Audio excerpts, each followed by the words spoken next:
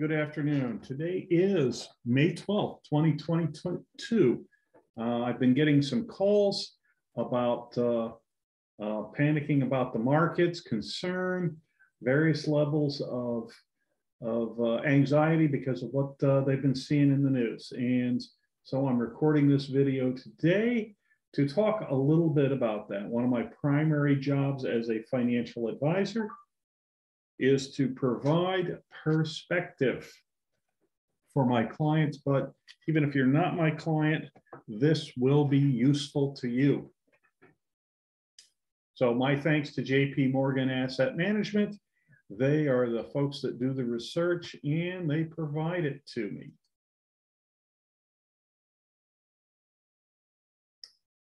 Okay, so in the news, it's been scary. The market's down this much for the year. And uh, I like to go back to uh, a time that I remember early in my investing career uh, as a private investor. And uh, it's called Black Monday. It was in October of 1987. The Dow Jones fell from 2,500 to 2,000. Now, in that day and age, a 500 point drop was scary because it's one of the largest, well, it was the largest ever seen at the time, I think. And as a percentage, it's 20%. So uh, with today's um, uh, Dow levels, we'd have to see something north of 6,000 point drop in a single day. Really scary. Now, that drew everybody's attention. And matter of fact, if you take a look right here, uh, you see this red dot that says uh, minus 34%. At one point during 1987, the market was down by over one third of its value. Really scary times. Now, again, as I mentioned before, I provide perspectives to my clients. And here's the perspective. If you'd invested in the S&P 500, which is the 500 largest companies in America at the beginning of 1987 and sat on your hands and done absolutely nothing except let the market go up and down, right here, you would have been up 2%. Now this chart goes all the way back to 1980, covers 42 years plus uh, the year to date right now. Okay, uh, the 42 years does not count this year because this year isn't over yet. But if you notice, these gray bars, there's a whole bunch of them that are above this 0%. And I won't make you go and count it, but basically 32 of the 42 years that are covered in this, uh, you were up. Now, sometimes, let's be fair, you were only up 2%. In one case, uh, you were flat, exactly. Okay, but basically, roughly 75% of the time, you were up. Now, uh, even though 1987 had a good outcome, 2008 is an example of where the outcome wasn't all that good. It was down 49% and recovered about 11%. You know, the only thing I ever guarantee my clients is eventually you're going to get a quarterly statement that you are not happy about. Um, so keep that in mind. But see all these red dots during the year, it gets scary. Well, the two sayings that uh, I have that uh, regard to uh, news and financial news in particular is an old newspaper saying, if it bleeds, it leads, which means they like the newspapers like bad news better than uh, good news. And a saying I think I originated nobody tunes into the Weather Channel to see a sunny day. So, that being said, I'm going to give some generic investing advice. Now, your situation is every situation is different. Consult with your financial, tax, and legal uh, professionals as uh, appropriate because I'm not giving out any tax or legal advice for sure. And this other stuff is just general principles. But what I advise my clients to do if they've got to spend the money in the next two to three, sometimes four or five years, I tell them take it down to your favorite bank, put it in a bank CD or a savings account that has FDIC insurance. And here's why. you'll see these three bars. Okay, the green bar is 100% in the stock market. The blue bar is 100% in the bond market. And the gray bar is 50 50. Now, you came into my office and said, Here's $20,000 I'm investing in you. What do you expect in the next year? I'll say somewhere between minus 39% and plus 40% is my best guess. Okay, because going back to 1950, and that's what this chart shows, is worst stock market year, minus 39%, best stock market year, up 47%. Okay, if you put it in bonds, worst year, down 8% up 43%. And if you've done 50 50, your worst year was down 15%, your best year was up 33%. Hence the reason why I say for something that you know you're going to need in the short term, put it in the bank. Okay. Uh, I have no idea where the market's going to be in the next year, two or three, but I got a pretty good idea if you put your money in the bank where that's going to be. Okay, let's go out a little bit further. Let's assume you can afford to hang on to it for at least five years. Okay, the worst five year period going back to 1950 was down 3% on average for the entire five years. Best five years, up 28%. Bond market, down 2%, up 23%. And if you did a 50 50, there wasn't a five year period going back to 1950 where you lost money if you invested in the S&P 500 and I forget which index they used for uh, for um, the bond market, but in any case, 1% to 21%.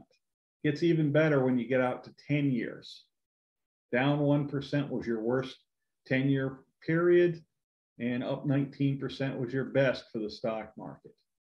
Uh, bond market, you never lost uh, 1% up 16%. Now that's, I won't say never lost. You, there were undoubtedly years, as indicated by this, where you lost money, but your average over 10 years was positive. And the 50 50, up 2%, up to 16%. Now, here's where it gets really interesting. And this is really critical because most of us, when we retire, are going to live 20 or so years. Now, there's exceptions to that. Um, some people live 30, some people don't live two.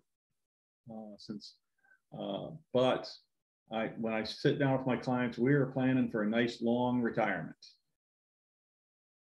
As a consequence, um,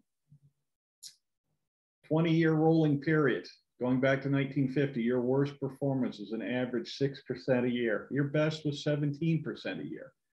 Bond market, worst 20 years was average 1% a year, uh, up 12%. And if you did the 50 50, it was up, you know, 5%, up 14. So, key lesson to be taken away from here is don't invest in the stock market for the short term. It's a mistake do invest in the stock market for the long term. Thus, you know, working with your financial advisor to see what's the most appropriate uh, mix for you because everybody's a little different. Okay. Now, here's the important thing, and this, besides the stock market getting hammered right now, this is the other big story on everybody's minds inflation. Now, for those of you who, like me, were teenagers in the late 70s, we remember Jimmy Carter inflation. Okay. But after uh, the 80s came around, that started to go away in the early 80s. So, uh, a lot of times people want to put their money in the safe places. So, this is a chart that shows income earned on $100,000 in savings accounts. So going back to 1994, this gray bar shows you would have gotten somewhere in the neighborhood. I'm guessing it looks like about 3,800, 3,900, give or take. Okay. And you can see these other things there more. Uh, now, of course, interest rates started dropping. and then they came back up and now they're really low. Anybody who goes to the bank, uh, they know they're not going to get uh, high interest rates, although I imagine interest rates will be coming up. All right, so why is that important? Because we just mentioned inflation. Well, these blue bars are what you need to beat inflation. So 94, 95, 96, 97, on through to 01. These gray bars, which is what you earned on $100,000, beat the inflation. So you weren't uh, losing spending power by putting it in a savings account. Now, 02, 03, 04, you didn't keep up with inflation at all. In the short term, that's not horrible. But in the long term, it can get a little bit dicey, especially if you're talking about a 30 year retirement. And then for a little while from uh, 05, 06, 07, we uh, made enough in the uh, savings accounts to beat inflation. Not to say every savings account will do it, but this is just an average.